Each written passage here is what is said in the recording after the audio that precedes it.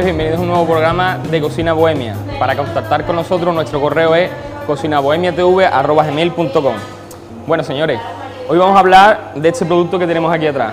No del atún, sino del pescado. El pescado, eh, como cocinero a mí, es el producto que más me gusta. Lo podemos encontrar en molusco, marisco, pescado. Y bueno, el programa va de esto. ¿Vamos al lío?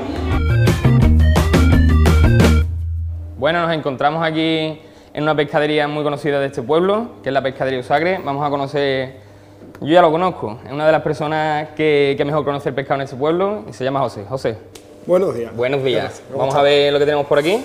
Pues como siempre tenemos una variedad de todo, de todo lo que hay en las costas y vivo, y vivo, ¿eh, José? Sobre todo productos frescos, frescos de nuestra zona, es lo primordial y lo que nuestros clientes exigen. Y bueno, ¿qué tenemos por aquí? Cuéntanos, José. Aquí pues, bueno, el molusco tenemos el mejillón, la chirla, la almeja fina y de pescado pues tanto para frito como plancha, horno, lo que la gente va demandando.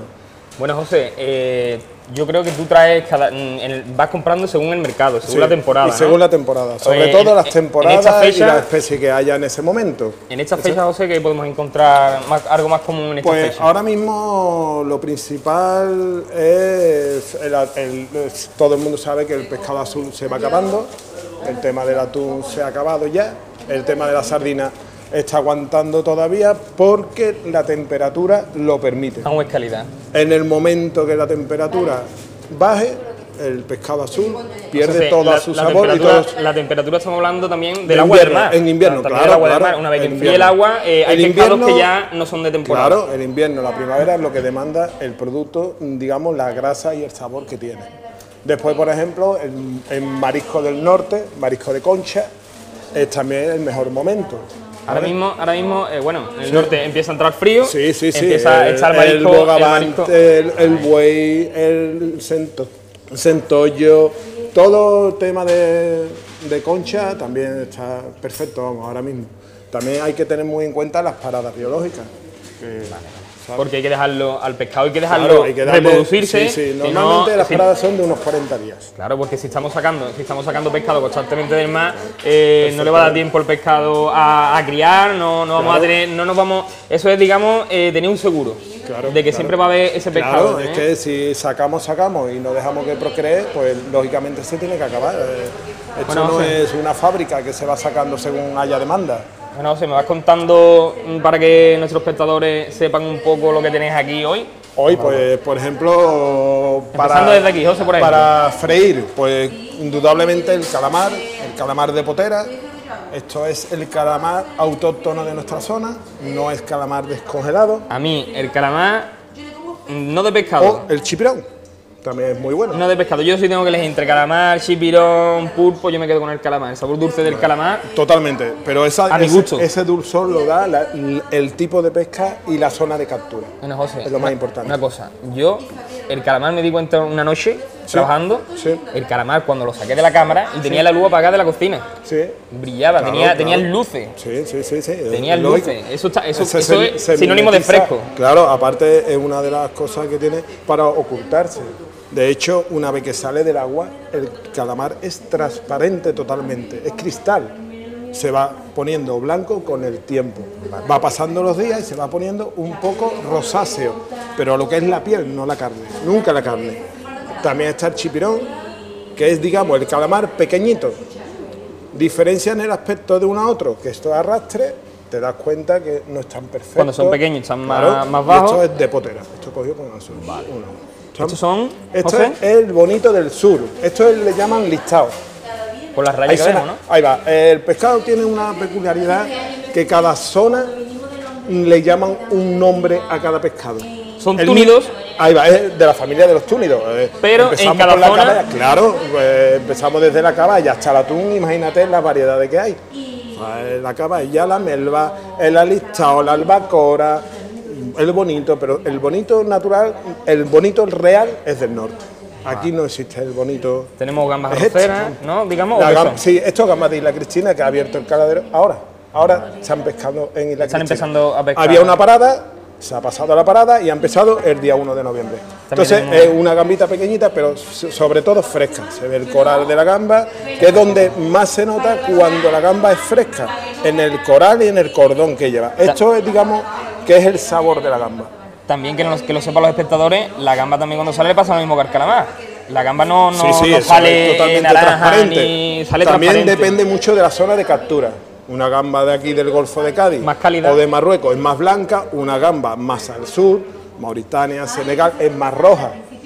No tiene nada que ver tampoco con la gamba roja. La gamba roja es otra cosa. Vamos por aquí, ¿qué tenemos más por aquí, José? Pues como siempre el boquerón, que es el pescado estrella, el boquerón en Marchena y digamos en Andalucía, por el motivo de freír tanto, en Andalucía se fríe mucho el pescado. ¿Qué es lo que pasa? El boquerón es el número uno. Digamos que el boquerón es el pescado mm, número uno en España entera. Si no tienes eh, un buen boquerón en la pescadería o boquerón, parece que no tienes nada. Que eso, que eso es lo típico, si eso no puede faltar, eso tiene Claro. que tenerlo y tiene que tenerlo bueno. Claro, ahora por ejemplo está entrando también el salmonete. En septiembre empieza la campaña del salmonete. Ese salmonetito viene de la zona de Málaga. Esto tiene un sabor que es increíble. El langostino, ya está aquí el langostino también de Isla Cristina. Langostino Una tigre, maravilla. supuestamente le dicen. ¿Ves? Claro, ves el bigote. Una de las mejores diferencias para, para verlo es Enséñale la cola, que José. tenga el bigote, su cola azul y el bigote largo. No se parte el bigote. Al ser fresco no se parte. Cuando son congelados o descongelados, el bigote lo pierde. Porque es tan frágil que al envasarlo, ahí va. Fresco es fresco. Fresco, el carabinero igualmente de isla, eso está entrando. Eso lleva arroz- días entrando. Un arroz con carabinero. ¿Es carabinero o también brillante le dicen? ¿no? Brillante también, según la zona también. Normalmente carabinero, chorizo también le llaman en algunas zonas. Se dice, se dice que antes nadie lo quería. No le gustaba a la gente. Dice, no, eso antiguamente no valía dinero. Yo no lo he conocido. Se ha vuelto lo más codiciado. Yo no he conocido que el carabinero o el marisco en sí o cualquier pescado que desechen no haya valido nunca dinero. Siempre ha valido dinero. Y además, siempre. Yo llevo 25 años en esto y siempre que he comprado calidad, si esta este no producto, cuesta- no- si esta calidad no es tiene precio, no- claro, mm, son, el problema de esto es que hay muy poca producción, muy poca oferta y mucha demanda. El, cara- el arroz con carabinero está Por eso- de moda, digamos. por eso el precio. Claro, depende mucho de, de- de la demanda que haya. Boquerones se cogen mucho más kilos, el precio es mucho más Aparte, también de, de la captura de lo que haya también es que tenga buena cría. Por ejemplo, Claro. el boquerón se reproduce muy bien y, y siempre tenemos boquerón. Y además el tamaño lo alcanza rápidamente, digamos, ¿no? Claro, claro, el, el boquerón procrea varias veces al año. No es como a otros pescados que es una vez al año, son varias veces al año. Entonces, esa, esa ventaja la tenemos. No podemos decir, bueno, ahora es el momento del boquerón porque la fecha, si te das cuenta, prácticamente fecha no hay. ¿Por qué? Porque tiene tanta postura el pescado, procrea tan rápido y tantas veces al año. Que no necesita tener una fecha sí, fija. Ahí va. Sí, es verdad que paran la pesca, por ejemplo, en el Golfo de Cádiz, ahora para. Ahora no va a faltar lo que es en Cádiz, en Barbate, en Isla Cristina, el pescado azul corta. ¿Para qué? ¿Para qué? Para dejarlo, Para dejarlo, descansar para un dejarlo poco, descansar. claro. José, ¿qué tenemos por aquí también? ¿Nos El lenguado, pescado blanco, ideal para la plancha, el lenguado por grosor y jugosidad. Es muy jugosa la carne. Tiene un- un- también un pescado plano, como le llaman, o Digamos es que la sedía. La sedía, que la sedía se no suele más freír. ¿no? Sí, es más, se usa más para freír. La sedía es más para freír. Eh, una sedía frita sí es verdad que tiene un poco más de sabor que el lenguado. El lenguado es más jugoso, pero la sedía mm, te da más sabor. Es, es más rica. No cada, tiene uno, nada que ver. cada uno por, su comportamiento y su Después, sabor por ejemplo, se elabora de una manera u otra. Otro pescado estrella, la bacaladilla o la inglesa que le llaman en Marchena, muy curioso. Mi madre la llama inglés. En Marchena se llama inglesa, en Parada se llama portuguesa, en Arar igual, lirio. El lirio sí es verdad que el lirio es la bacaladilla del norte, no tiene nada que ver, el- es la misma especie, pero ni en calidad ni ni, ni lo ni la estamos hablando textura. de polos opuestos. Estamos al norte y estamos al sur. Totalmente. La- las aguas no son iguales. Claro, totalmente. Tenemos choco, hemos hablado antes Choco, de los. El choco de siempre, el salmonetito, eh, después por ejemplo los pescados de esteros o mar abierto. Tenemos aquí lo que es la, eh, un bocinegro, este es de la familia de los pargos. Esto es un pargo. Es un pargo Pero pequeño. no, es un pargo de la zona del Golfo de Cádiz. Es autóctono de la zona esta. Vale. Esto no se pesca Por eso en el boci- norte. bocinegro, ¿por qué? Por bocinegro una por, por- por el tono oscuro que coge la cabeza. Ahí va. El pargo legítimo es el mismo color por aquí que por aquí. Un color más clarito, si es verdad, el pargo legítimo. Rosáceo. Más rosáceo y el bocinegro tiene la, la cabeza un poco más oscura. En conil, por ejemplo, es pescado estrella. En conil el bocinegro es muy típico. ¿Por qué? Porque es de aquella zona. El salmonete, el conil, ese es el anzuelo. sí. ese- ese es el Esto anzuelito. es palangre. Esto es pescado de palangre. Palangre, de trasmayo, de arrastre, son varios tipos de pesca que también va en la calidad del pescado. Tenemos claro. por aquí también róbalo o lubina, ¿no? Róbalo o lubina. Normalmente es lubina. Róbalo se le llama cuando pasa a lo mejor del kilo, kilo y medio, pescado Cuando es más grande. Claro, pero la especie es la misma, igual que la pescadilla con la merluza o con la pijota. Estamos eso. hablando que la, pesca- la pijota es pescadilla o merluza, como quieras llamarlo. Ma- eh, eh, esto va en función, el nombre va en función de, Del de- tamaño, del tamaño, del tamaño, del en el que la pesquemos. Por ejemplo, aquí se llama, como hemos dicho, que se llama aquí, Esto es pijota. Pijota, Estos son perdón, pijota. Pescado blanco, aquello... la bacaladilla, La bacaladilla. y el pescado azul. El Es la diferencia. azul. Mucha gente se piensa de que, Que- la bacaladilla ahí es, está, eso es lo es que yo quiero, blanco. que tú lo no, expliques, que tú lo no, expliques no. Eh, la bacaladilla es un pescado azul, lo que pasa es que no tiene tanta sangre como un boquerón, como una sardina, ¿sabes? Tiene muy buen sabor. Hay gente que, que incluso mm, en zonas como Sevilla, mucha gente no conoce lo que es la bacaladilla y cuando la prueba y, la- y- y está muy buena, tiene un sabor exquisito, siempre que esté fresco. ¿Cuál es el mejor pescado? Me preguntan. ¿Cuál es el mejor pescado El para que ti? más vivo el, el más fresco. Mm, eh, todos los pescados son buenos. Mm, Ya según a mí, por ejemplo, me enamora el salmonete grande, un salmonete grande a la plancha, un buen atún de ventresca.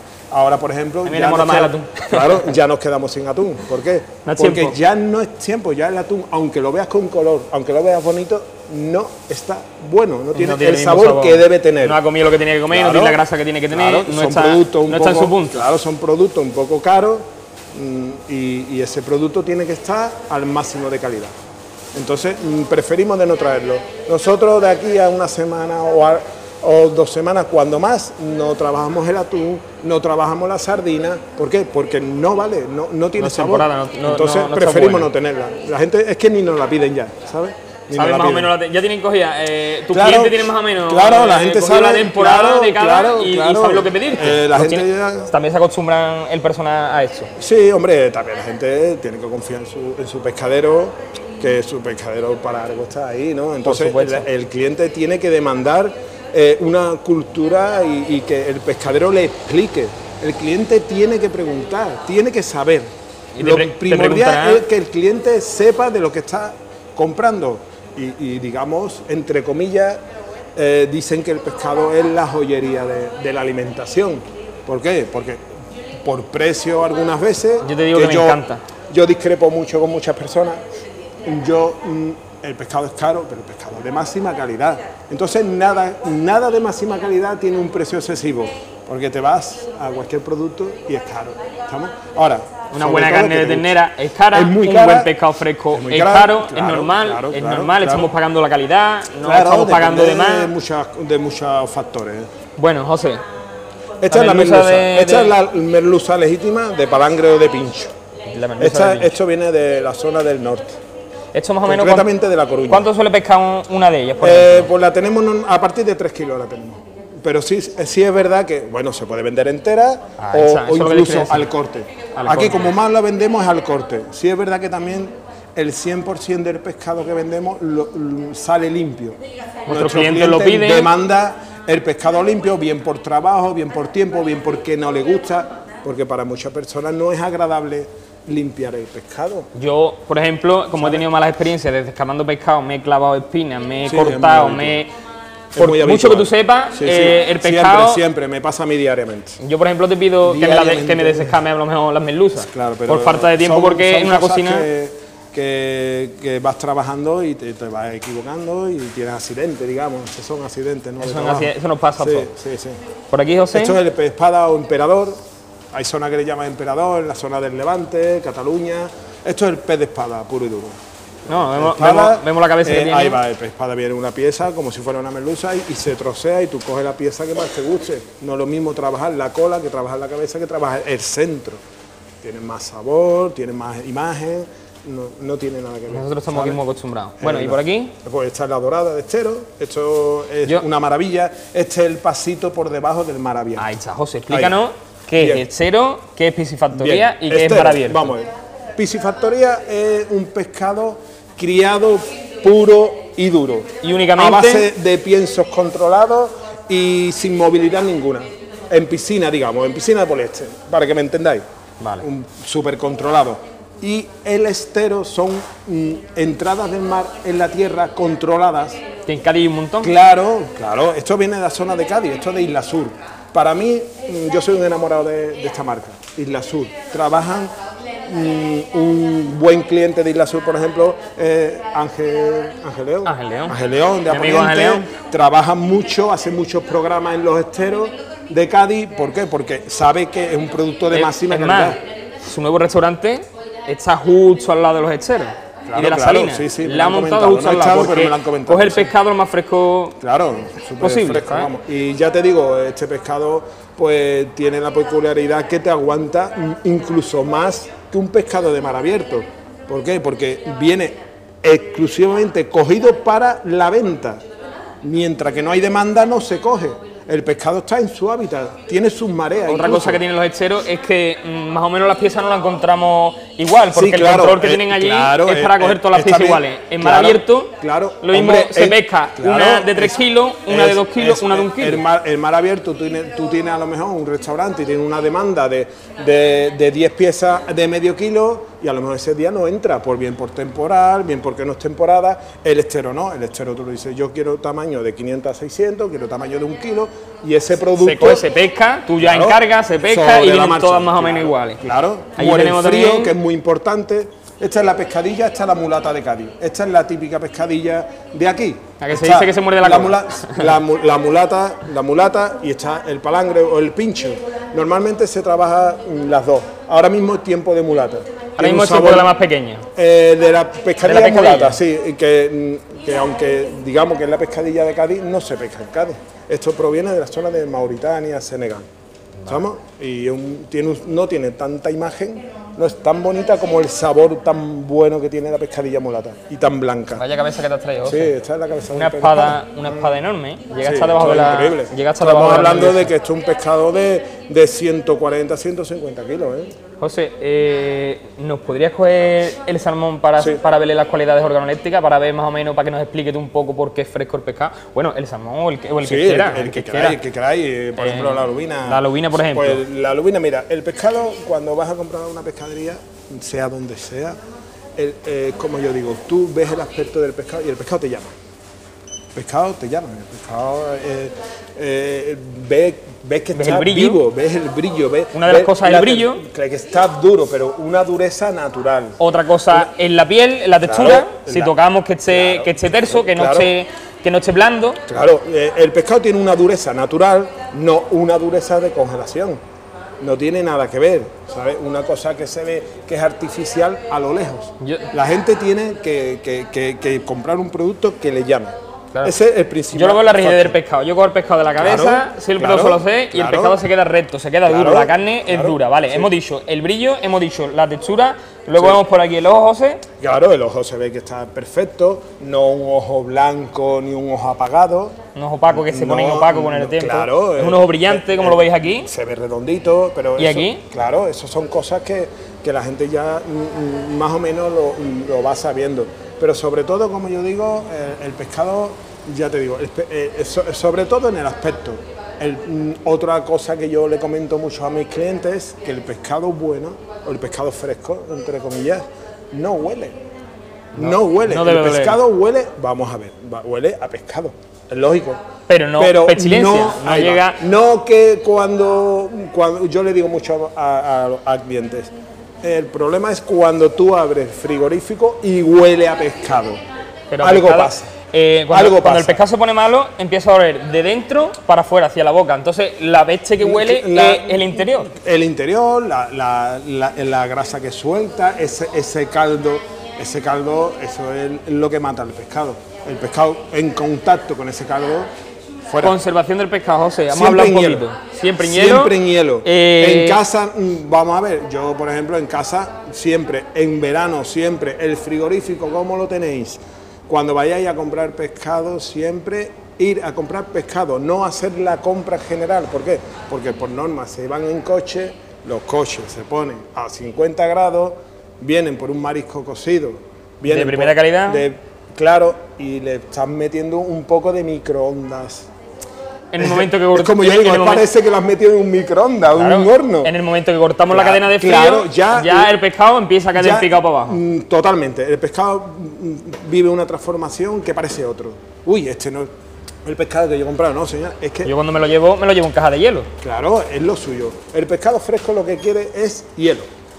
Hielo, el, el principal. Y que no, y que no le dé el agua, no, que no le dé tampoco mucho. Es que estamos El acostumbrados el al agua dulce. No, el a lavarlo no, con agua no, no, no. dulce. El pescado no quiere agua dulce ni quiere agua. Porque acelera el proceso de putrefacción. mm, eh, yo desconfiaría mucho de, de un pescado sumergido en agua y además lo veo una aberración. Es venderlo al Vamos a ver, si Vender está- al si ese público pescado- un pescado en agua mm, ni es mm, sano ni es económico. ¿Por qué? Porque ese agua lo está pagando el cliente. Claro, lo que- a lo que te Claro. cuento, a lo que te cuento.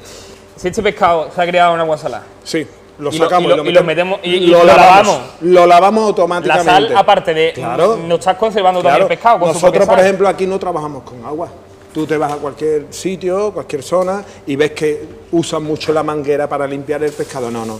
El pescado, tal cual, te limpia las manos y con papel seca a mano y el pescado no pierde su grasa. Y por Esta casualidad. grasita si- que tiene el pescado es lo que lo conserva, digamos. Y por casualidad, si lo hemos viscerado a José, se le da un poquito de agua y se seca Sí, no con un papel. claro, se claro, seca con un papel porque el pescado que tiene los frescos, Sí, el pescado también lo que lo pone malo, digamos, es el agua, pero el agua dulce. El contacto, el contacto, contacto con el agua. Todos los productos de alimentación en contacto con agua o mucha humedad se van mucho antes. Pero ya te digo, normalmente, hombre, sí es verdad que un cliente que se lleva el pescado es para consumo. Entonces, mm, yo, yo siempre le aconsejo al público que se lleve el pescado que va a consumir hoy o mañana, independientemente de que haya pescados que duran 3 y 4 días, porque realmente es que lo duran. La gente piensa a lo mejor que el pescado es, es- es un producto Perecedero. que tú te lo tienes que llevar corriendo y gastarlo. No, no, perdona. El pescado de calidad le aguanta. Si tú te llevas un pescado grande, lo primero es eviscerarlo. Claro, eso hay que limpiarlo. Porque si no, eh, lo, lo que está dentro se, sí. nos, se nos va incluso para dentro del pescado, eso va chupando el pescado. Claro, claro, eh, Entonces, lo primero es, si nos llevamos un pescado grande es eviscerarlo. Sí, siempre. Eh, siempre. Lo suyo para conservar pescado es quitarle la tripa. Siempre. ¿Qué es lo que echa a perder el pescado? De dentro para afuera. No sé, una, una, una, una cosa curiosa que tú me dijiste una vez. Sí. El salmón fresco, cuando Sí. abrimos las agallas, aparte, eso es otra cosa que tenemos que ver. es una curiosidad que Eh, tiene el salmón, El sí. salmón huele a sandía. Ahí va. El salmón. eh, tiene salmón fresco huele a sandía fresco. Que cuando mm, el salmón es fresco, porque el pescado este, todos sabemos que viene de la zona de Noruega, tiene dos entradas a la semana.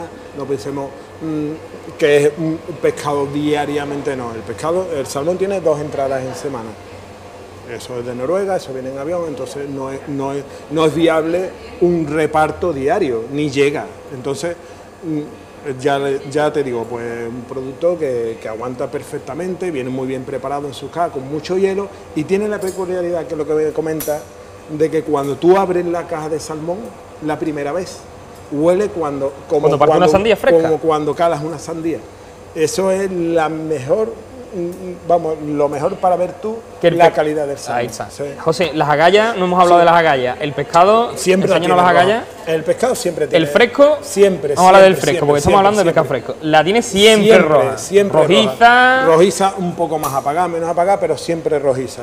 El, el pescado con la galla blanca ya está lavado, bien por el hielo que se va derritiendo o bien por la mala conservación. Se va perdiendo, ¿sabes? Pero sobre todo yo, más que la galla, porque la galla si está cerradita, se va a conservar. Yo pienso que lo, lo más importante para el pescado es el brillo, el brillo natural, su brillo. Que llame la No- atención, No, ¿eh? no un brillo artificial de un cubo de agua por lo harto No, no, que vemos cosas como echarle agua al pescado por encima en la venta para quitarle para quitarle Ya le lo- estamos lo quitando que le está su quitando su que lo que brillo lo real. conserva. claro lo va a tener un minuto con brillo al minuto y medio Se te va a ir. ya no, no, va a tener ya- aspecto. claro ya se seca se reseca le da un poco el aire adiós pescado ¿sabes?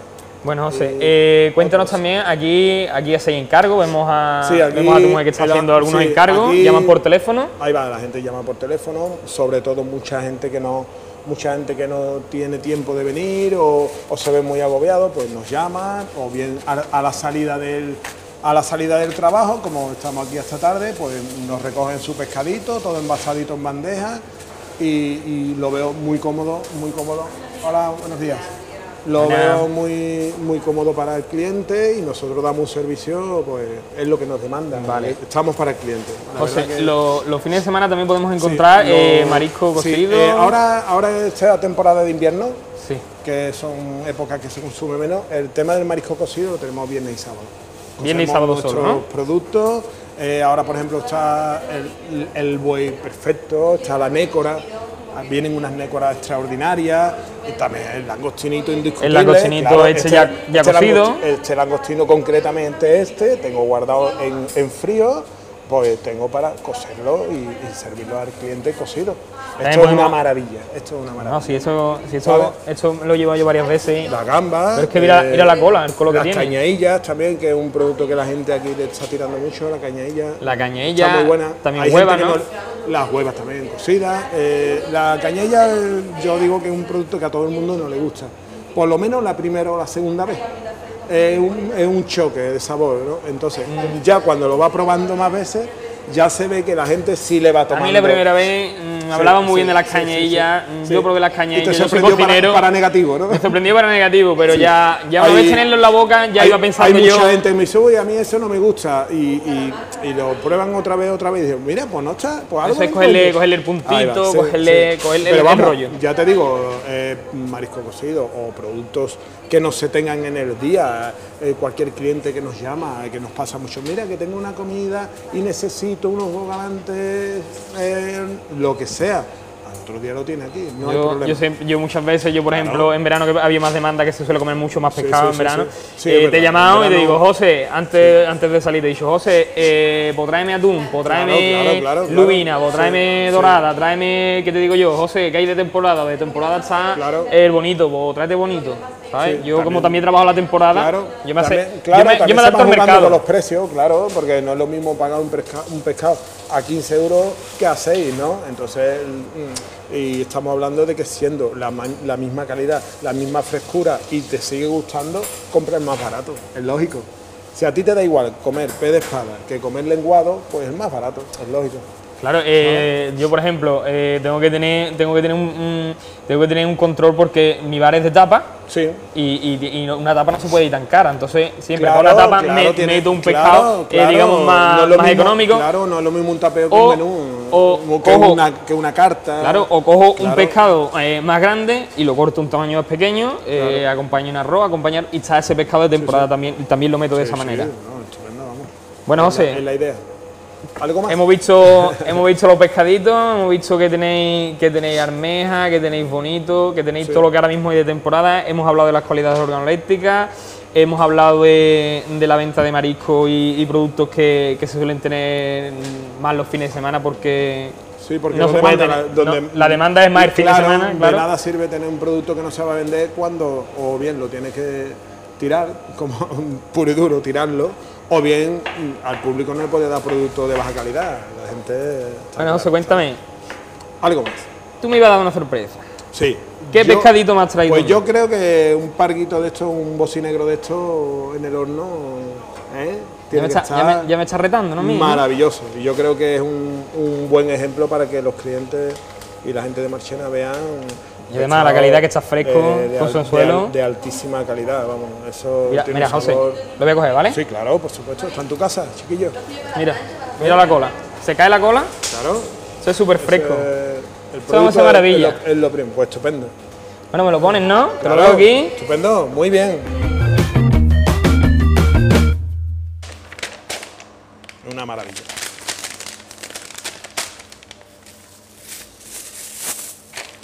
Bueno, pues a ver cómo te sale, ¿no, Víctor? Bueno. Como yo- siempre, de yo, lujo, ¿no? yo, yo lo voy a intentar, yo voy a intentar no fallar, porque un producto así hay que tratarlo lo mejor posible. Ya ves tú. Eso, Esto es Mientras menos se toque, ¿no? El pescado, José. Mientras menos, mejor. El pescado que se toca o se mueve es para consumo. Siempre. El pescado no quiere movimiento. Bueno, José, muchas gracias por el parguito. Pues aquí tienes tu casa y cuando quieras tú, sabes que, tú sabes que yo soy fiel a, tu casa. Lo que, lo que necesites. Cualquier producto que demande para tu curso, pues me lo pides, se trae y con mucho gusto y desearte mucho yo, Yo encantado de estar hoy aquí. Muy bien. Muchas gracias, José. Gracias a ustedes. Gracias. Bueno, ahora nos vamos con este pargo a nuestra cocina, a elaborarlo.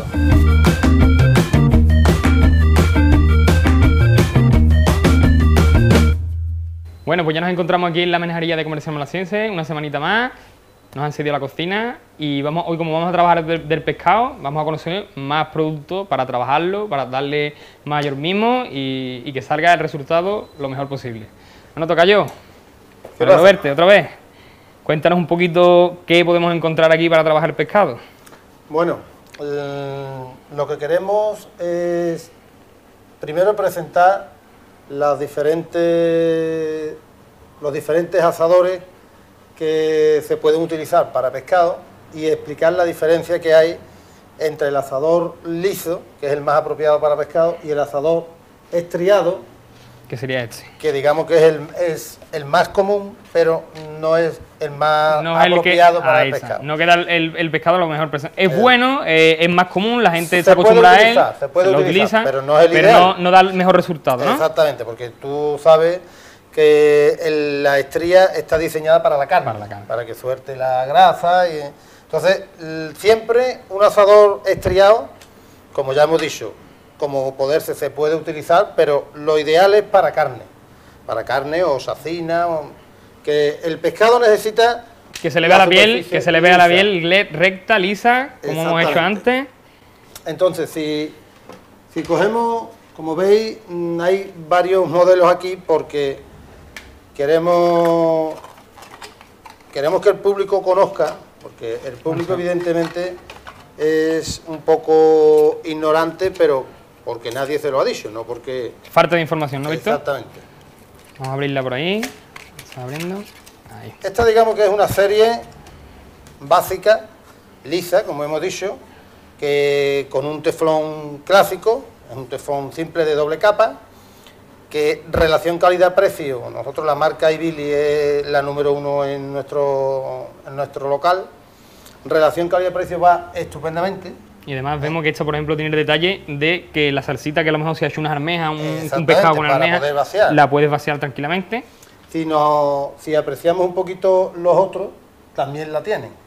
Tienen, tienen la, esta, tiene hueco, ¿vale? Y esta tiene, digamos, lo que es la... tiene un vértebro también. Ah, Aquí, mm, todas las... Esta, es la parte, esta es la parte, digamos, que, que, conserva el calor.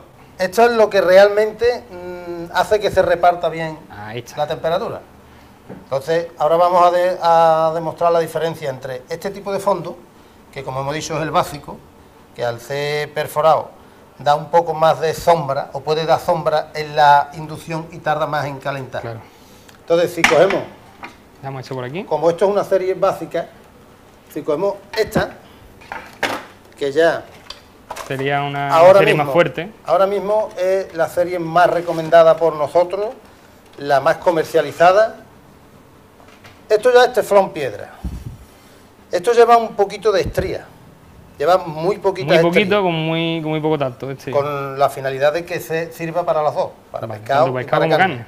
Teniendo en cuenta siempre que si es totalmente liso, es mejor.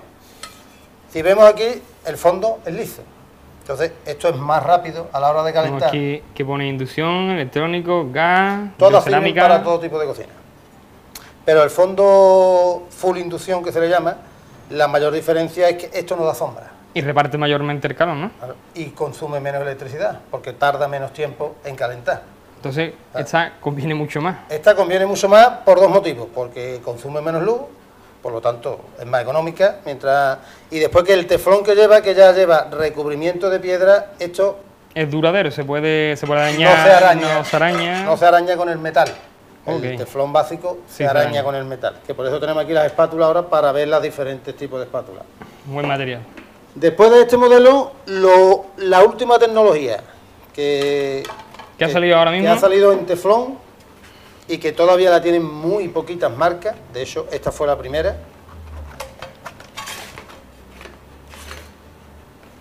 como vemos, Es también lisa, Esto es un aparato. es también lisa. Si esta es totalmente lisa el interior también. Y también tiene el mismo granito este que hemos hablado. Que Si nos fijamos, es piedra, pero aquí hay un sello que pone Quantanium. Quantanium es que lleva titanio. Vale, Entonces- más dura si cabe, ¿no? Esto, aunque le dé con un cuchillo, intencionadamente no se araña. Y además, Esto, sirve también más que todo para que, para que en casa sepan que esto se puede fregar a lo mejor un estropajo más, más duro, porque que no se suele quedar nada pegado, ¿no? Pero un estropajo más duro, Sí. pero este hay que tener un poquito más de cuidado. exactamente, la, la gran diferencia es mm, que la durabilidad es muchísimo mayor que el resto de las y es teniendo en cuenta que esta ya es una buena pieza. Esta es básica, esta ya es una buena pieza, pero esta la supera. Y además, tanto en la serie Piedra, o sea, compañero de esta serie, como la serie Quantanium, con titanio, tiene los asadores, que esto es lo que realmente es recomendado para, para el pescado. Porque te cabe la pieza más grande, si es un filete te cabe el filete más Aquí grande. Un rodaballo te cabe aquí estupendamente. Exactamente. La superficie de cocción siempre es mayor que la de un grill. de- Y, puede, y, a la- de y aza- aparte puedes hacer aquí el pescado y aquí puedes hacer la verdura al lado. Puedes ir haciendo una parrilladita de verdurita aquí al lado. Te da más juego, te da más juego. La Además, verdad que- como se puede ver, ya vienen con sus azas de silicona para que Para que no te Para que no queme, te sea fácil de transportar. son aptas para el horno. ¿eh? Las piezas de los asadores mm, cuadrados, rectangulares, ovalados, a la hora Todas de caben, hacer pescado, todas caben dentro del horno, ¿no? es el más ideal. Bueno, cuéntanos un poquito sobre la- las espátulas que tenemos aquí. Las espátulas también va en función de la pieza que tengamos.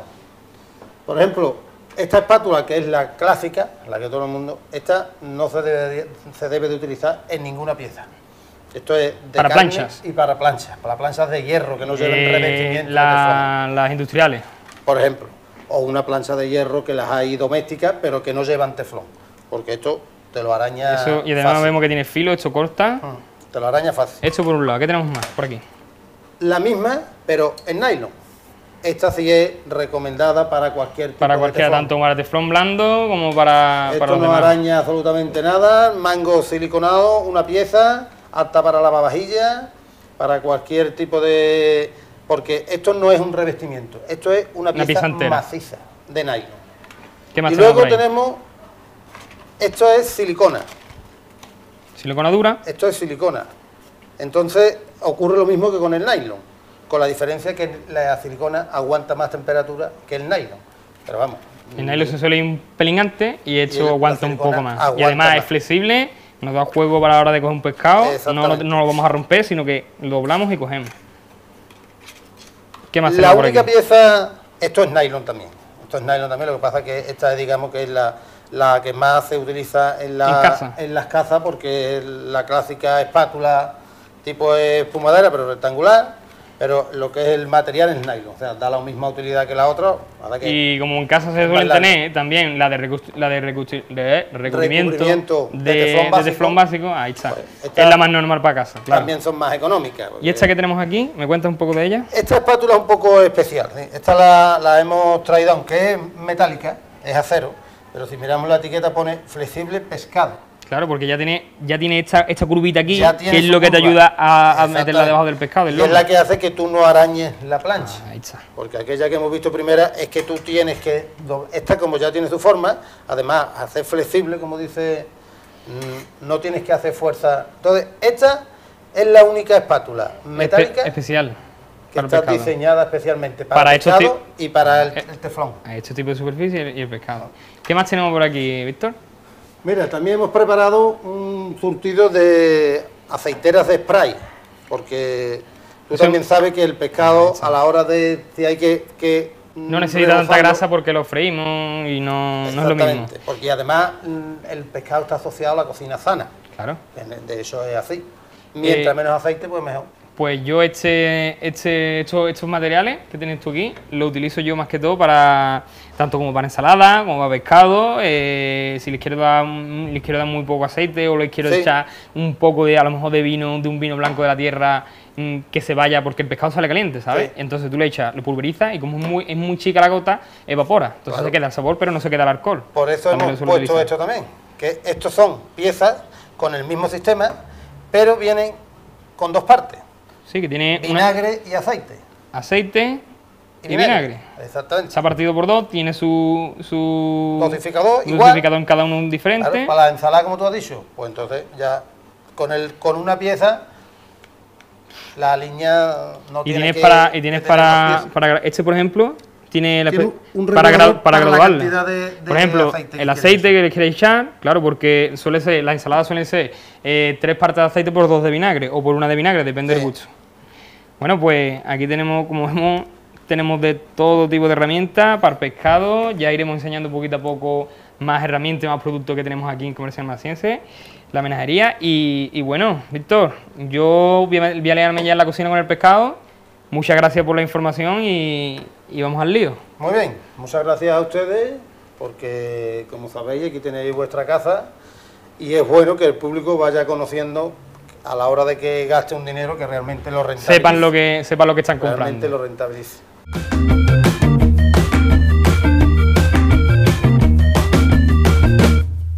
Bueno familia, aquí tenemos nuestro bocinegro, ¿vale? De la familia de los pargos.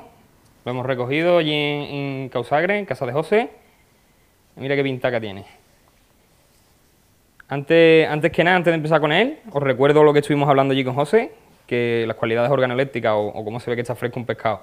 Se ve en el ojo, un ojo vivo, una piel brillante, una piel dura, que el pescado esté terso, que no esté blando, que no esté blandengue, que esté terso el pescado eh, en los olores, en sus agallas, en una agalla roja, en este pescado, en un pescado rosa la agalla no es igual, pero aquí vemos la sangre, ¿ves? El pescado está súper fresco y súper vivo. Aquí lo tenemos, con su anzuelo, y vamos a cocinarlo ahora. Esto, mucho cuidado con los anzuelos, ¿vale? Yo una vez me atravesé un dedo y, y no quiero ni recordarlo. Esto hay que tener muchito, mucho, mucho, mucho cuidado. Bueno, dejamos el pescadito aquí al lado y os voy a contar lo que vamos a hacer hoy. ¿Vale? Hoy lo que haremos será eh, partir los dos lomos, sacar los dos lomos, son dos lomos grandes, cogeremos formato tapa más o menos unos 100, 120 gramos, ¿vale? De cada lomo, o, de, o de un mismo lomo, y lo que vamos a hacer, vamos a hacer dos elaboraciones. Con esto que tenemos aquí, cebolla roja, una guindilla, mm, digamos, entre fresca y seca, cilantro, granada, aquí tenemos, aquí tenemos una cueva de lumbo para decorar, tenemos un pomelo, que estamos en tiempo de, cítricos, en tiempo de pomelo, en tiempo de, de naranja, en tiempo de mandarina, tenemos también aquí unos limones, y con esta parte de aquí, y un poco de sal, nos haríamos lo que es la, una leche de tigre, ¿vale? Que es lo que, lo que es el ceviche, ya os lo enseñaré yo. Y con el otro lomo, nos vamos a este lado, tenemos ajos tiernos, seta shiitake, una seta diferente, un poquito diferente, que también la, he- encontrado aquí, eh, unos champiñones frescos, y también tenemos por aquí eh, unas almejas, unas almejitas bastante grandes, unas almejitas de carril bastante grandes, y un poquito de soja, ¿vale? Bueno, señores, empezamos con el pescadito. Bueno, lo primero que hacemos es acomodar pescado y le vamos a quitar las aletas, ¿vale? Para que no pincharnos, para no tener problemas a la hora de desescamarlo, ¿vale? Yo pues le quito la, la aleta lateral, la dorsal, la de la barriga. Cuesta un poquito de trabajo, tenemos que tener cuidado y mucha paciencia. Ya. Hay que tener mucho cuidadito a la hora de quitar la- las aletas. Nos podemos cortar las tijeras, se nos puede resbalar, ya que es un producto que está húmedo. ¿Vale? Me dejáis que quite las demás aletas y seguimos. Bueno, ya, hemos- ya lo tenemos limpio de, de aletas. Esta no se la suelo yo quitar porque esta me, sirve a mí para agarrarla a la hora de escamar. ¿Ves? Vemos que le hemos quitado todas, todas, todas las aletas, ¿vale? Le vamos a quitar eh, el anzuelo. No se lo voy a quitar porque por aquí no voy a tocar mucho y si meto la mano, la meto aquí para agarrar el pescado. Aquí lo que voy a hacer es quitarle el cable o el hilo. Y ahora vamos a proceder a desescamarlo. Tenemos aquí nuestro desescamador. Nos vamos a nuestro fregadero, nuestro desescamador y al fregadero. Y le vamos a quitar las escamas. Es un procedimiento, eh, digamos, un poquito guarro, ¿no? Porque saltan las escamas. Yo también recomiendo, yo abro una bolsa de basura, la cojo, la abro, la tiro una bolsa de basura grande negra, la coloco en el fregadero y me voy desescamando y lo que va cayendo de escamas, que salen despedidas, caen en la bolsa. Entonces luego recogemos la bolsa, le damos con un papel pe- al pescado y se queda perfecto. Dejarme que desescame y os lo enseño.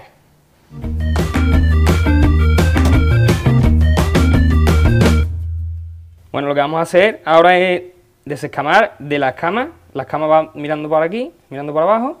Lo vamos a hacer a contrapelo, como se suele decir, o a contraescama. Lo que vamos a hacer es coger los dientes del descamador, introducirlo, ¿ves? ¿eh? ven que va saliendo. Eso lo que pasa es que salpica mucho las escamas, luego se pone todo hecho perdido, se pone hecho un asco. Eso es un trabajo que, que hay que valorar en los bares, en los restaurantes, a no ser que tú ya lo pidas lo pidas ya cortado, pelado, como lo quieras, ¿sabes? Yo, por ejemplo, en mi bar me gusta hacer lo mismo, me gusta tocar, tocar el pescado yo, que no esté tan tocado. Vamos a seguir y os lo enseño ya peladito y desescamadito. Bueno familia, ya lo tenemos desescamado. Venid por aquí, ¿veis? Cuando no tiene escama, si le das para abajo, se nota que está, que está ¿no? ¿vale? Pero si le damos para arriba, ¿veis el hueco de la escama? y lo pongo otra vez derechito, mira. ¿Veis el hueco? Ya no tenemos escama por aquí. Ahora el siguiente paso, después de quitarle las aletas, eh, de quitarle las aletas, de, desescamarlo, es viscerarlo, es quitarle la tripa. ¿Vale? Tenemos aquí la cloaca, que es por donde se reproducen y, hacen sus necesidades de los pescados. Y por ahí vamos a introducir la punta de la tijera. Introducimos la punta de la tijera. Vamos a pasar lo que es las dos aletas, donde estaban las dos aletas. ¿Vale? Y vamos a llegar casi al cuello. A ver si me deja. Esto está muy duro. Ahí. Vamos a llegar casi al cuello. Ya, tenemos, ya vemos por aquí las vísceras. Y ahora con mucho cuidado, cogemos el pescado y lo vamos a viscerar. Esta es la parte que menos le gusta a la gente. La piedra. Aquí se puede ver de qué se alimenta este pescado. Por ejemplo, yo he sacado aquí la cáscara de un cangrejito o de una almeja pequeña. Son pescados, los pescados de roca que tienen, suelen tener este color rosáceo, se alimentan de moluscos, de, de gambita, de... Vamos a ver de la mano hasta el fondo y tiramos. Tenemos que asegurarnos de que no nos queda nada. Si los queremos hacer al horno, si los queremos sacarle los lomos, como queramos, no nos puede quedar nada, porque se nos pone malo el pescado. Ya lo hemos viscerado, como podéis ver por aquí. Ya le hemos quitado las tripas, si queda un restito no pasa nada, eso no nos vale. Vamos a coger el cuchillo del pescado.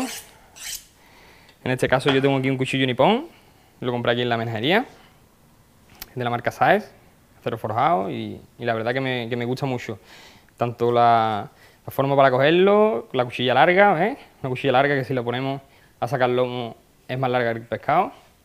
Y bueno, vamos a acomodarnos el pescado y vamos a sacar los lomos. Tenemos aquí, lo pongo yo, yo soy derecho, hay gente que lo pone de la otra manera para sacar el lomo, yo soy derecho. Y lo primero que vamos a hacer para sacar el lomo es hacer un corte desde aquí, desde aquí nos vamos para arriba apurando todo lo que podamos de la cabeza. Vamos hasta aquí, digamos, si fuera, si fuera un atún llegaríamos hasta aquí arriba, hasta lo que es el morrillo, pero un pescadito normal vamos a hacer así, ¿vale? Para sacar nuestro lomo entero aquí, ¿vale? Este es el corte. Y ahora nos vamos a la espina y vamos buscando eh, lo que hemos dicho, la espina para, que no, para no desperdiciar carne. Nos acercamos a la espina, nos venimos por abajo, aprovechando todo lo que podamos de carne. Pegado la espina, que se escuche el cuchillo, que se escuche el cuchillo pegadito. Y lo vamos a hacer rapidito. Vemos que el pescado no se está quedando, no se, no se nos queda nada de carne pegada a la espina, porque eso sería desperdicio, eso sería perder dinero. Imagina un pescado tan bueno como este. Hacemos un pequeño corte aquí. ¿Vale? Y seguimos.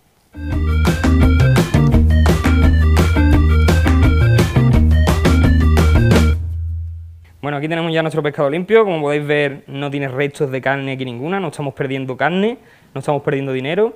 Lo que sí que yo le hago un corte, porque esto sería, si la unión de abajo y esto sería un poco de ventresca, pero yo no quiero ahora mismo ese corte de ventresca, yo lo que quiero son los lomos. Entonces, aquí hay unas espinas que hacen un poco de cóncavo aquí, que yo lo que hago es pasarle por lo alto, o simplemente eh, corto aquí y hago este, hago este tipo de corte y se nos queda aquí lo que es la, un poco de ventresca y lo que es el estómago, porque yo al corte, eh, la elaboración que voy a hacer, que va a ser eh, un ceviche y, un poco de lomo, no me hace falta rascar por aquí. Entonces con este lomo creo que yo que es más que suficiente. Este lomo pesará unos 300, 400 gramos, por ahí, ¿ves? Lo tenemos limpio, corte limpio, no nos hemos dejado de carne y yo voy a guardar este pescado y vamos a trabajar con este lomo. Aquí tenemos nuestro lomo, como podéis ver, y ahora lo que toca es desespinar el pescado. Bueno, mira, veis, por la parte donde va la espina siempre tiene un poquito de rojo. Esto es sangre, esto es bueno, esto es el pescado fresco. Yo lo que tengo aquí, en mi truco es unas buenas, unas buenas pinzas para quitar espinas. Tenemos aquí un bol con agua y un papelito. ¿Para qué? Porque yo cojo espinas, mojo para que se suelte, doy un toque y no tengo la espina, no me la llevo otra vez al pescado. Vamos a intentarlo. Este pescado tiene una espina muy dura, ¿ves? Quitamos, toque, se queda la espina ahí. Y ponemos aquí. Hay que tener mucho cuidado y mirar mucho. Estas espinas son muy duras, un pescado muy fresco. Ahí, tocamos con el dedito. Intentamos no partirla, muchas se nos parten. Si se nos parte, seguimos la siguiente y ahora la quitamos, ¿vale? Hay que buscarle el puntito. A ver si no cogemos carne. Esto nos sirve también para limpiar, por si llegamos un pellizco con carne, ¿eh? luego cogemos lo que es la espina. Ahí. Cuesta un poquito de trabajito, esto no nos gusta ni a todos los cocineros ni a todo el mundo en sus casas tener que hacer este trabajo, pero es la forma de, evitar problemas y que, y que el pescado salga lo más elaboradito posible y que la gente vea que tiene trabajo. Que tiene trabajo y que, y que luego cuando te ponen un pescado bueno, fresco, y, que, por ejemplo, nosotros lo trabajamos en casa, lo trabajamos en buena etapa, y, y lo dices que no, es que el pescado fresco es caro, no, es que el pescado fresco es bueno y aparte tiene un trabajo detrás que es increíble. Bueno, ya lo tenemos sin espina por aquí, vamos a pasar la mano por si notáramos alguna espina más unas camas. Yo creo que aquí me queda una. Aquí me queda una grande. Ya la tenemos. Siempre revisando que no nos encontremos muchas espinas. Yo soy muy maniático con esto y no me gusta que haya ninguna espina. Es más, toco más que, miro el pescado, ¿sabes? El tacto te va a dar donde está la espina. Bueno, esto ya lo tenemos. Ahora, como vamos a, como vamos a elaborar eh, dos chapas con este, con este lomo, lo vamos a hermosear. Dejamos esto aquí al ladito. Lo vamos a hermosear, hermoseado es cuadrarlo un poco, quitarle las partes que no nos gusten. ¿Vale? Quitarle aquí un poco. ¿Vale? Por aquí. Y vamos a dejar lo que es la parte más bonita para el lomo con, con seta. ¿Vale? Que sería, quitamos un poquito de cola, que la aprovecharíamos para la siguiente elaboración. Y luego para este sería perfecto para, para, para nuestro bocinegro con seta. Y, este, y esta parte lo que es todo este, todo este trozo lo vamos a utilizar para, nuestro ceviche peruano, ¿vale? Bueno, para quitarle la piel vamos a hacer una pequeña hendidura.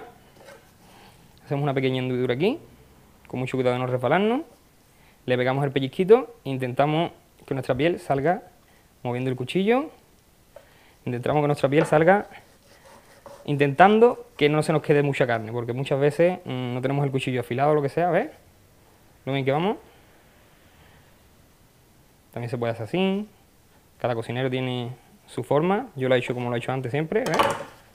Limpio, sin piel, sin espinas, nada. Bueno, esto lo que vamos a hacer ahora es picarlo, haremos unos daditos, no con este cuchillo, sino con este, cogeremos, haremos tiras, una tirita y haremos unos daditos así para nuestro ceviche. Este más o menos este tamaño es agradable la boca y es lo que vamos a hacer siguiente. Vamos a seguir cortando nuestros dados de bocinegro. Hay un color precioso.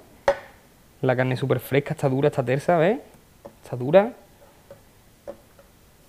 Yo no suelo maltratar nunca el pescado, suelo dar su, su, su, respeto, lo respeto mucho. Tengo, tengo que tener los cuchillos siempre muy afilados. Vamos a unos daditos para nuestro ceviche. El ceviche procede de Perú, es una forma, digamos, de alinear, de alinear el pescado. El pescado no es crudo, el pescado se cuece con el limón y la sal y los cítricos que le, meta, que le, que le, añadiremos y, que nadie se piense que es crudo crudo. Y además, los ceviches, eh, por norma general, se suelen hacer con pescados muy frescos como este, con pescado, con pescado ya un poco pasado de día, no es recomendable hacerlo. Porque ni queda cocido del todo, ni queda crudo del todo. Es un punto intermedio. Vamos a poner esto en el bol. Y vamos a picar el resto.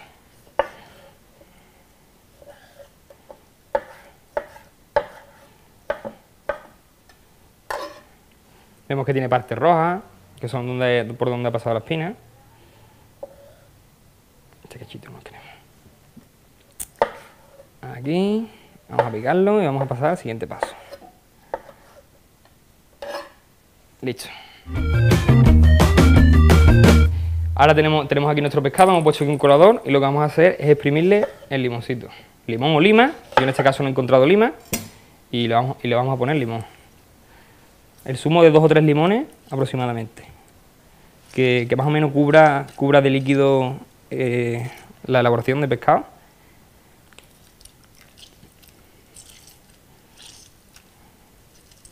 Yo creo que, que esta vez con dos limones va a estar la receta clavada para esta cantidad de pescado que serían unos 200 gramos de pescado que hemos echado para el ceviche y unos, y unos 130 para nuestro lomo. El ceviche siempre pone un poquito más porque a la gente le suele gustar mucho más. De limón, listo. Aquí nuestro limón lo que haría es ir cociendo poquito a poco, muy poquito a poco el pescado, que nos da tiempo todavía de, de mientras que lo vamos preparando. Lo demás nos da tiempo, sobrado. Ahora lo que tengo es cebolla, cebolla roja, cebolla morada, como las quieras llamar. Y lo que vamos a hacer es echarle una juliana, se le suele, se le suele poner adito o juliana. Nosotros vamos a sacar una juliana fina, muy fina. Una juliana muy fina con mucho cuidadito. Ahí. La abrimos un poco y le añadimos nuestro ceviche. Lo siguiente es cilantro, una especie de, perejil, ¿vale? Pero no es tan común aquí, pero se está sembrando, conozco muchos agricultores que están empezando a sembrar cilantro. Bueno, hacemos un ovillito con el cilantro y lo vamos a picar muy muy fino.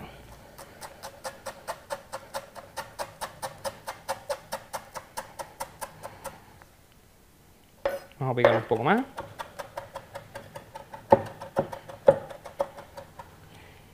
Y añadimos más o menos esta cantidad, un pelín más, a nuestro ceviche. Bueno, tenemos aquí nuestra guindilla, nuestro chile. Yo más o menos le he hecho esta cantidad. Lo que, lo que sí tenéis que tener cuidado con los chiles es eh, a la hora del de, corte, tanto del corte como, como de la higiene, la higiene de la tabla y el cuchillo, porque nos tocamos la mano, vamos a quitar las pipas nos tocamos con la mano la boca, la cara, nos arrascamos sin querer y, nos pica bastante, ¿sabes? Las manos, no nos podemos tocar la boca, no nos podemos, con el cuchillo hay que lavarlo automáticamente, la tabla hay que lavarlo automáticamente, porque como nos toquemos la cara, y una vez me toqué, me toqué aquí el labio, se me puso como de un negro. Esto más o menos picamos una cantidad, lo cortamos en julianita pequeñita, con esta cantidad yo creo que es suficiente. Siempre los cocineros tenemos que probar todo lo que le añadimos a los platos, todo, todo, todo, para saber si el pique es más fuerte o más flojo, para saber si le tenemos que añadir más o menos. A mí, como el pique me gusta, nunca he tenido problema de, probarlo. Más o menos creo que esta cantidad, esta, esta cantidad nos puede venir muy bien. Ahora añadiremos un poquito más, creo.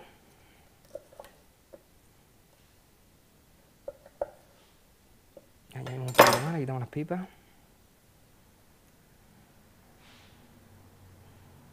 Aquí y lo vamos a añadir cortado muy finito. Ahí. Y el siguiente paso es mezclar un poco todo y ya lo terminaremos con sal. Pero ahora mismo vamos mezclando poquito a poco, que vaya haciendo efecto el limón, el chile, la cebollita, que vaya cogiendo sabor. Ve que ya el pescado está un poquito más blanco, va a coger un poquito de textura, se va a poner un poquito más durito pero con una textura muy agradable. Vamos a dejarlo que actúe, está absorbiendo nuestro, nuestro limón, nuestra lima. Vamos a lo que estuve, vamos a recoger y vamos a limpiar nuestra tabla y nuestro cuchillo. Para decorar eh, nuestro ceviche, que ahora lo terminaremos con un poco de sal, tenemos aquí, como he dicho antes, huevas de humo, un pescadito, granada que estamos en su tiempo, y vamos a sacar los vivos a este pomelo. voy a enseñar yo a sacar los vivos. Los vivos es sacar lo que es, lo que es el, gajo, pero sin piel, sin nada que moleste. A ver, un corte aquí, el pomelo tiene mucha piel, tenemos que llegar a donde no haya piel, a donde llegue la carne y no haya piel. Todavía seguimos sacando piel. Ahí ya podemos ver pomelo. ¿eh? Ahora lo que vamos a hacer es pasar, pelarlo, intentando quitar la menos carne posible para sacar nuestro gajito. ¿eh? Intentando sacar la menos carne posible. Ahora estamos en tiempo de pomelo, tiempo de mandarina, tiempo de naranja, tiempo de cítrico. Y vamos sacando, tiene mucho, mucha piel el pomelo. Vamos buscando siempre la forma. Aquí. Ya tenemos para sacar aquí algunos vivos. Tenemos el cuchillo. Tenemos un vivo. Otro vivo. Vamos a sacar unos tres vivos. O cuatro. Ahí. Y aquí. Unos cuatro vivos de pomelo. Este lo guardamos.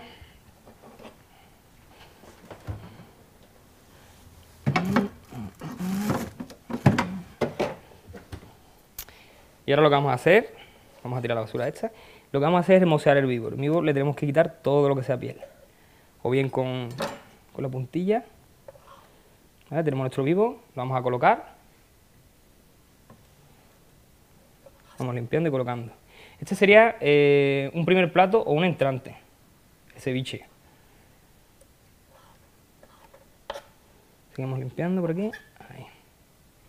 Esto lo vamos a poner en el centro. He utilizado un plato negro eh, por el color que le da, porque vamos a trabajar con colores vivos. El trabajar con un color, con un color apagado, un color negro, lo que va a hacer es que nos va a, nos va a resaltar más los colores. Bueno, ya tenemos aquí nuestro, nos hemos montado nuestro fondo de plato con nuestro, con nuestro pomelo. El ceviche lo que le faltaba era, eh, lo que le hemos hecho es sal, eh, echar el jugo, la cebolla, el cilantro, el chile y ahora vamos a añadir un poquito de sal. ¿Por qué al final? Porque la sal, eh, tanto como el limón por su ácido va a seguir cociendo el pescado, la sal nos la va a cocer un poco más rápido todavía y nos va a dar el punto de, sabor. Movemos un poquito, veis que ya el pescado va cogiendo, adquiriendo un color blanco, un color de cocción, igual que si lo, hiciéramos en una sartén o una plancha, un pelín más de sal. Yo lo he probado antes y más o menos sé qué sal, qué, qué, cantidad más o menos le hace falta. Bueno, pues vamos a presentar nuestro ceviche. Corrimos un poco nuestro, nuestro cardito y vamos presentando nuestro ceviche.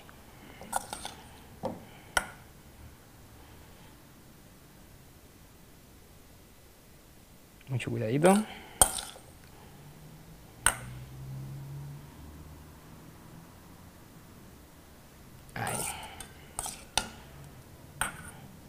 Esta cantidad sería la cantidad de una tapa. Yo creo que, es más que suficiente esa cantidad. Vamos a añadirle unas granadas. Como he dicho antes, estamos en tiempo de granada. Vamos a jugar con tonos rojizos. Y unas huevecitas de lumbo, como he dicho antes. Vamos a poner las salteaditas. Que estén por todos lados. Ahí. un poquito más aquí. Y este sería eh, nuestro primer plato o nuestro entrante. Ceviche de, de, de bocinegro o pargo, con cítrico.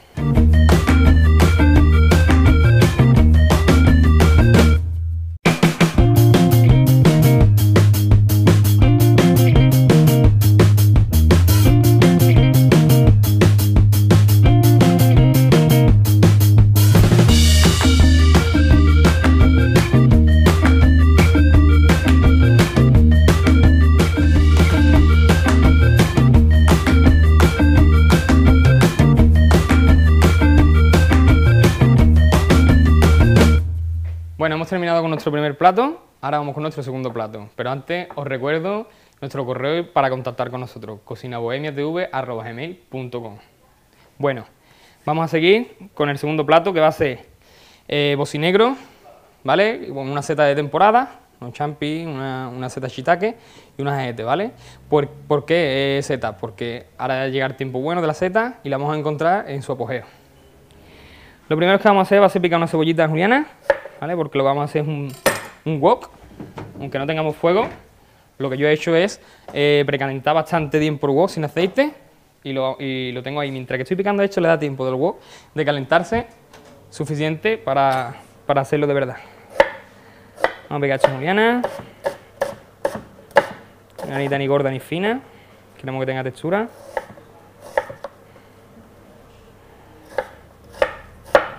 Más o menos media cebolla. Más que sobrado. Eso lo ponemos un poquito aquí al lado.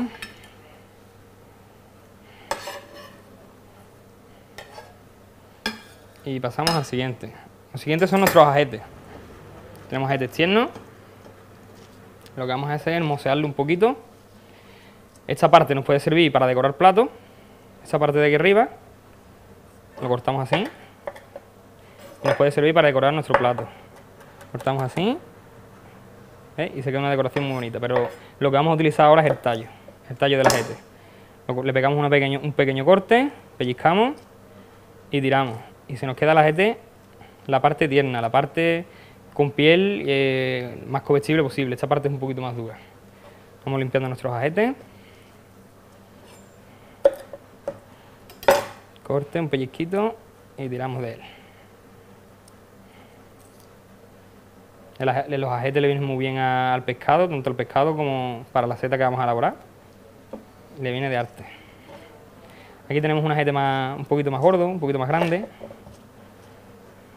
Lo cortaremos por la mitad. y haremos la misma, el mismo procedimiento. Hacemos un tironcito y sacamos. Si vemos que sigue siendo bastante gordito, pues otra vez a la mitad, otro corte a la mitad. Y lo tenemos aquí preparado.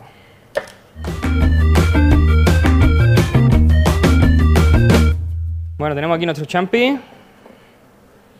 Yo le he dado con un, trapito húmedo, pero así todo se nos queda un poquito. Ahora le voy a dar con el papel seco ya. Las setas no admiten agua, las setas no se pueden mojar debajo de un grifo porque nos coge humedad y se nos, se nos ponen blandas y, y, pierden sabor, pierden todo nuestro sabor, todo el sabor de seta. Aquí, las repaso un poco, siempre con un trapito húmedo con papel para tirar nuestra tierra, la tierra que, trae. Aquí se ve un poquito más. Se pueden limpiar, que otro día os explicaré la forma de limpiar, de quitarle la piel pero hoy las queremos tal cual.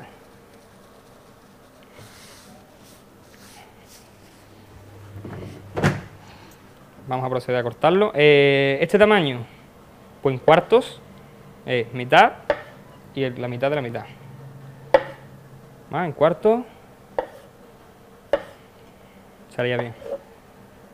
Daos cuenta que la seta merma mucho y se nos queda un poco más pequeña. Ahí.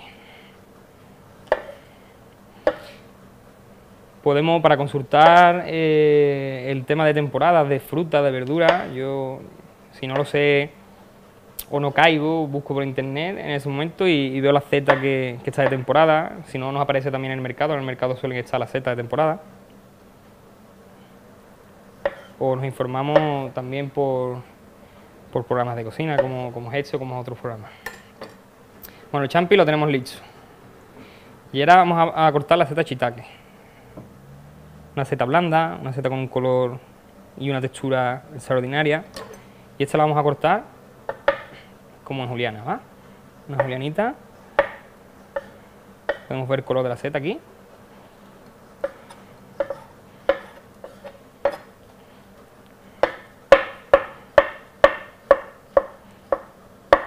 Me encanta, particularmente la textura de esta seta me encanta. Es muy tierna y luego cuando se, se suele utilizar en sopa y luego cuando la mordemos tiene una textura extraordinaria. Bueno, y aquí tenemos lo que sería eh, nuestro salteado, nuestro wok.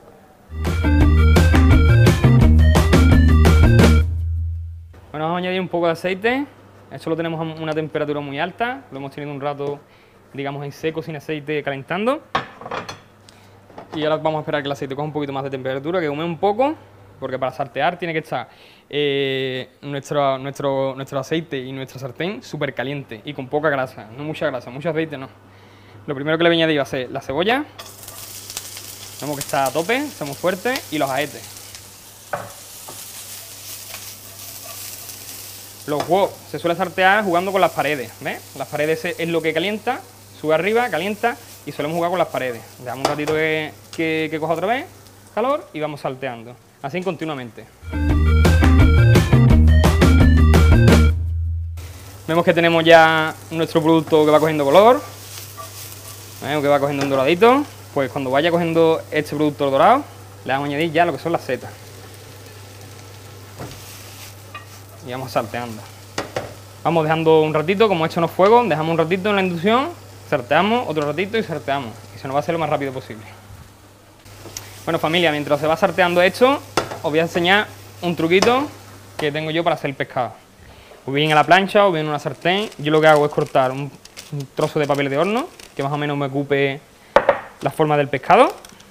Donde ahora voy a coger, lo, cuando esto esté calentito, lo voy a poner el papel, voy a añadir un poco de aceite de oliva aquí y pondremos el pescado con la piel boca abajo. ¿Qué es lo que va, qué es lo que va a provocar esto? Que no se nos, no se nos despegue la piel al darle la huerta, eh, que quede la piel lo más correcta y lo más, lo más natural posible, con un poquito de dorado, y el pescado quede al punto. Esto lo hago yo más que todo para no perder la piel, para conservar la piel del pescado.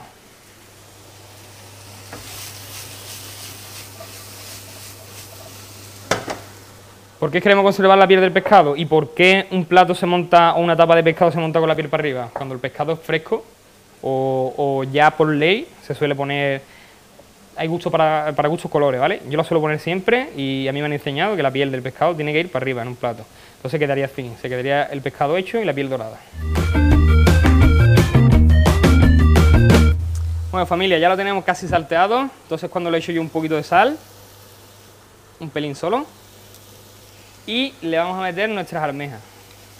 Esto es un, es un wok, un, sí, un wok, entre wok y sofrito porque aquí no tenemos fuego, si, fuera, si tuviéramos fuego sería más fuerte, pero vamos, que está saliendo muy bien, tiene un aspecto, está cogiendo lo doradito perfecto. Y lo que vamos a añadirle van a ser nuestra, nuestras almejas, porque es un, digamos, un wok de, de mar y montaña. Añadimos nuestras almejas, salteamos y vamos a añadir un poquito de soja, un pelín de soja. Ahí, que dé un poco de sabor un poco asiático a, a nuestro wok. Venga, bueno, ya tenemos, como he explicado antes, nuestro papel de horno, el aceite y ponemos a calentar. Nada más que coja temperatura, le vamos a poner pescado. Y verás que rápido, veréis que rápido se hace el pescado ahí. Esto ya está abriendo, pues vamos a esperar un poquitín y terminamos el plato. Aquí como podemos observar ya están abriendo nuestras almejas, están abriendo poquito a poco de una en una. Se abren todas porque son almejas frescas, que también nos hemos traído de allí de, de nuestro amigo Sagre. Y esto nada más que abran todas tenemos esto listo. Y aquí, como está calentando, en breve vamos a echar el pescado. Bueno, vamos a añadir nuestro pescado, ¿vale? Ahí, que ocupe más o menos la parte, la parte del papel. Y se va haciendo poquito a poco. Se nos va a quedar la piel crujiente y el pescado tierno. Aquí ya tenemos esto. Vamos a cambiar de fuego. Vamos a poner este que necesita ahora más calor. Y esto lo apagamos. Y aquí se va diciendo nuestro pescadito. Esto lo tenemos listo. Antes de darle la huerta, sazonamos esta parte, un poquito de sal y vamos a darle la vuelta. Ya lo que es el papel no nos hace falta porque lo queríamos para, para, que, para que nuestro pescado no se pegara. Lo único que vamos a hacer es meter la espátula, añadir un poco más de aceite, un segundín, añadir un poco más de aceite en la parte baja y daríamos la huerta a nuestro pescado. Y como podemos ver, la piel queda crujiente, queda doradita, pero la tenemos que retocar un poquito porque por el centro siempre nos cuesta un pelín de más trabajo que se nos haga. Pero por lo menos la parte crítica, que es la de la de echarlo directamente a la sartén con la piel, no, se nos ha, no, se no nos ha pasado nada porque no se nos ha quedado pegada. Vamos a dejar que termine. Bueno, tenemos nuestro pescado ya hecho, está terminándose ahí un poquito que le acabo de dar la vuelta y lo que vamos a hacer es la presentación de, de nuestro plato. Vamos a coger un poco de almeja, un poquito de todo.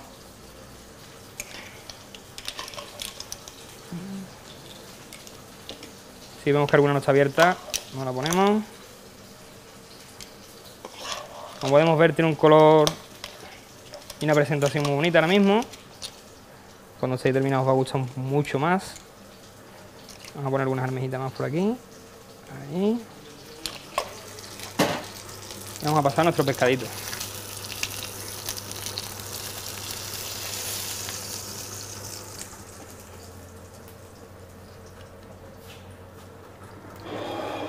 Podemos ver la pinta que tiene. Yo siempre lo termino con un chorroncito de aceite de oliva.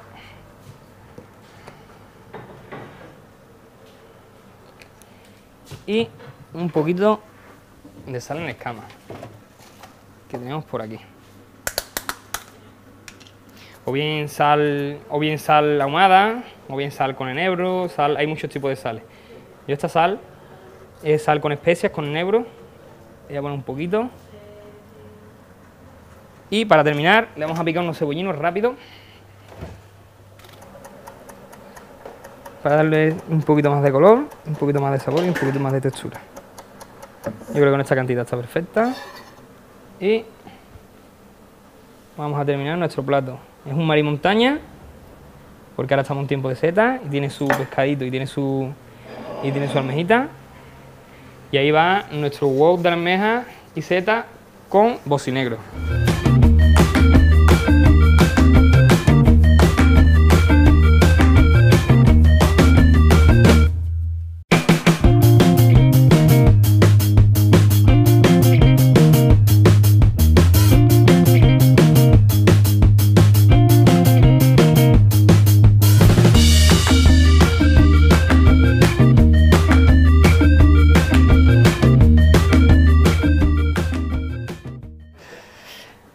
Familia, ya tenemos terminado nuestro primer plato y nuestro segundo plato.